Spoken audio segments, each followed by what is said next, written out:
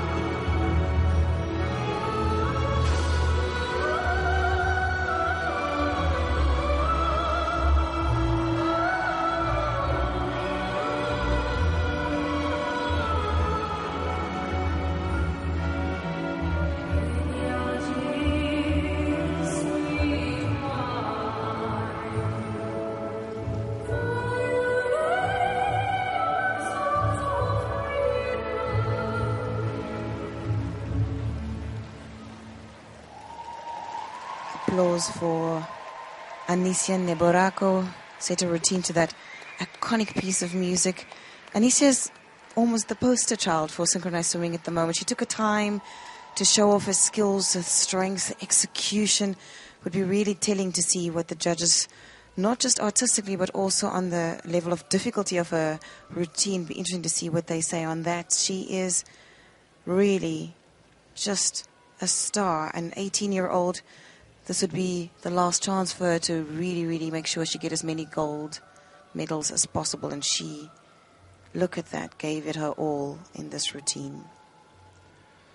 Well, the strains of uh, Stranger in Paradise there, but the Russian Federation, no stranger to gold medals. 11 girls one European gold in 2013 at junior level, and only one of them is still here, this young lady, Anasia. It just goes to underline what a production line of swimmers the Federation is Score producing. For execution, 8790. Here we go, listen to the Oh nines. Oh my, just hear that and hear the crowd's appreciation Score for artistic for that impression, performance. 88, 89, 88, 89, Oh, she's absolutely smashed that 89.13. I wonder if she can just raise it up and hit that 90 mark when it comes to the final. But the difficulties, straight nines right across the judges, they were unanimous. Total score 89.